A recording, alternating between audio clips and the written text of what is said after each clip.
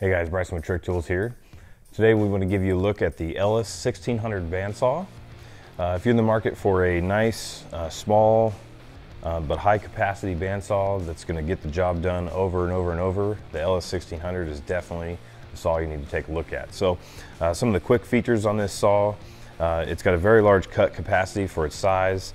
Um, but that all kind of varies based on what the type of material you're cutting is, whether it's round, square, uh, flat, that sort of thing. So we'll have those uh, listed in the description on the video. Um, but it has a, uh, a, quick clamp feature that you just slide the clamp forward and then push down a little lever and it locks the uh, material in place. Makes it real nice and quick to be able to uh, uh, apply the clamp, remove the clamp, get your material in and out of the saw. Uh, the mitering features on this saw are 45 degrees in both directions. So there's a little handle down here that you loosen up and you can pivot the saw around. And there's a nice gauge on the back side here. You can uh, judge your angle, get exactly where, set where you need to. Uh, but it'll go in both directions, which is really handy. Uh, you don't have to uh, move the material uh, to be able to cut a piece off in two different angles. You can just move the saw head and then the with that the vise can be moved, loosen the little knob under here and you can slide the vise over to the other side if you're mitering uh, to this direction. So um, makes it real easy for that type of work. Um, there's a chip tray on the bottom here that uh, you know holds and catches a lot of the chips uh, that fall. So it slides out, makes it real easy to catch. This is our uh, saw that we use here in the shop, so um, it's a little scratched up uh, from the work that we do on it. So you, um, you know, these saws really take a beating. Um, I've seen these saws that look like they've been around for 150 years, but they're still going strong because they're just built well, real high quality components. Everything's made of metal. Uh, so there's no plastic parts or anything like that uh, that wear out quickly over time. Everything is high quality metal, uh, and just built to last and do a job over and over and over. So, so this saw has a hydraulic down feed and an automatic shut off. So if you want to start the saw, get it cutting into your material and walk away for a minute because uh, you need to grab something, you need to do, work on something else for a minute, uh, you can turn it on and uh, set your down feed and it will shut itself off as it gets to the bottom of the cut.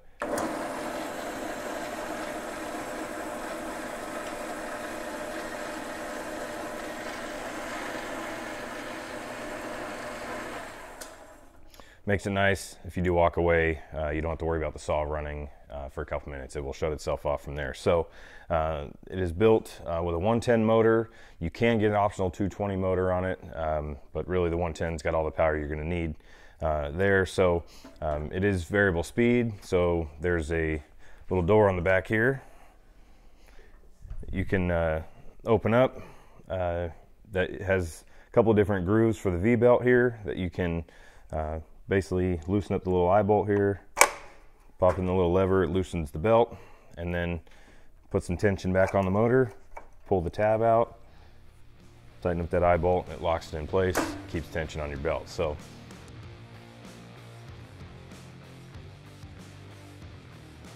So the Ellis 1600 has these nice, easily adjustable blade guides here um, that you can loosen this knob, slide it back forth, make sure that you're within two inches of your material uh, to keep your blade tension and uh, the stability of the blade where it needs to be. Uh, it has roller bearings here that are readily available. Uh, if they do wear out, you can replace them easily. Um, your belt or your uh, blade tension here is on the front. Turn a little knob here. Uh, blade changes are pretty easy. You've got some doors on the back side that are easily opened to be able to change the blades. And one of the best parts about this saw is that it's made right here in the USA. So um, one of the cool unique features about the 1600 here are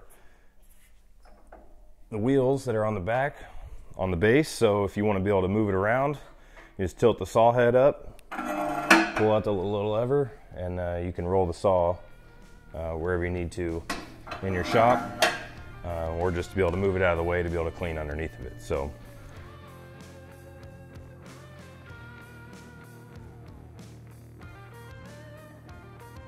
So some of the accessories that are available for the 1600 are an optional screw vise uh, that really allows you to put a lot more pressure on your material to hold it in place.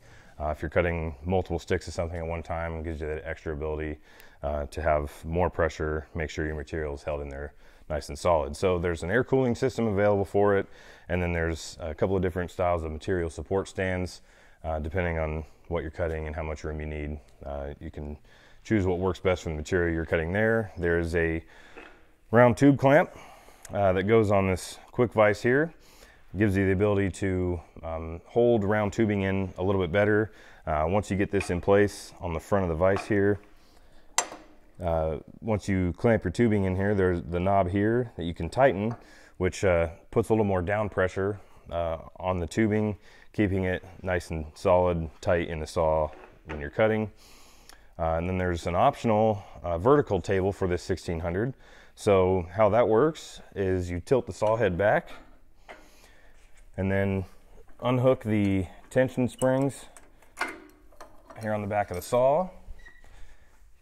And then you'll take out the quick release pin from the hydraulic down feed. Tilt the saw head back. And then from there,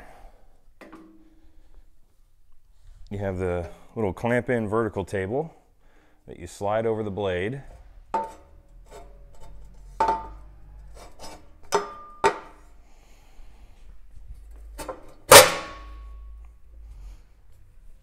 And then you want to center up the vise.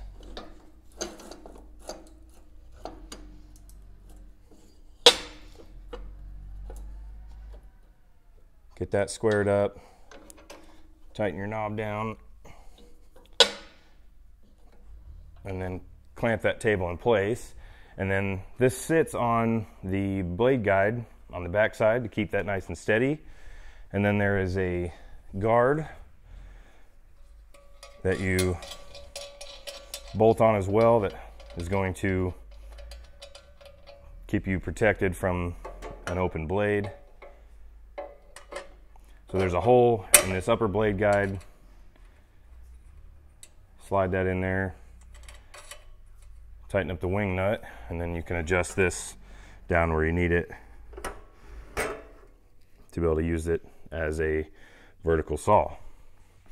So makes it quick and easy to be able to have a little bit of vertical capabilities uh, in this saw um, and gives you a little bit extra um, things that you can use one tool for. So we're going to do some demonstrations on some cutting now and I'll show you guys how this thing works.